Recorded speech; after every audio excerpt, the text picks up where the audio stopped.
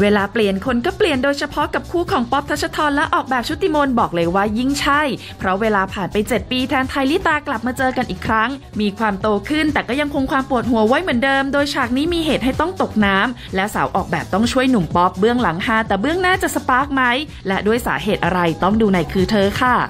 7ปีผ่านไปนะโตขึ้นครับทั้งคู่เลย เป็นเหมือนพาร์ทที่เราเรียกแทนไทยว่าพี่แล้วค่ะเป็นพี่แทนไทยเมื่อก่อนเรียกแค่คุณ ความสัมพันธ์ของตัวละครมันก็เริ่มพัฒนาขึ้นไปเรื่อยๆแต่ว่ามันก็มีบางอย่างที่เรายังต้องติดตามดูกันอยู่ว่าระหว่างลิตากับแทนไทยเนี่ย เขาจะพัฒนาความสัมพันธ์ อันเข้มข้นอันนี้ได้ยังไง